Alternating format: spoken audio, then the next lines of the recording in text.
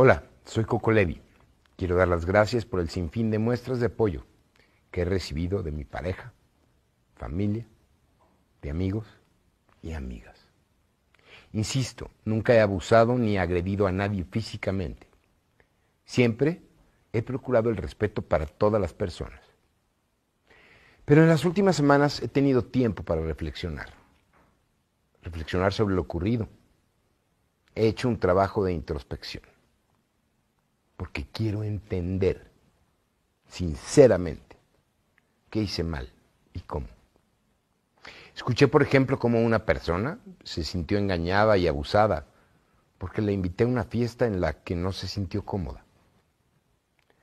Una más me ha visitado de manera regular por casi seis años y con quien tampoco he tenido ningún contacto físico.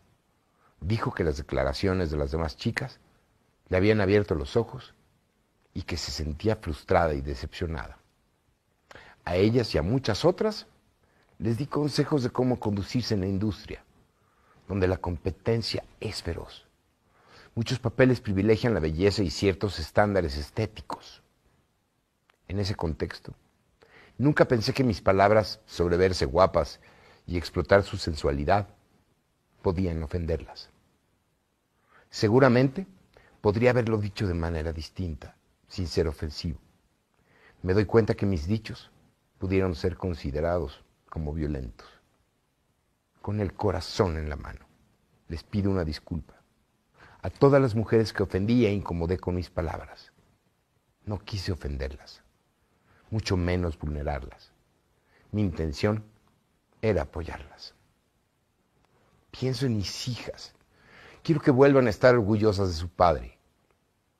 Quiero fomentar y propiciar que todo espacio laboral sea seguro, y libre de violencia hacia las mujeres. Esa será de ahora en adelante mi causa. Recuperar el respeto de mis hijas y promover un cambio cultural en favor de la integridad física y mental de las mujeres, hombres y de manera totalmente incluyente.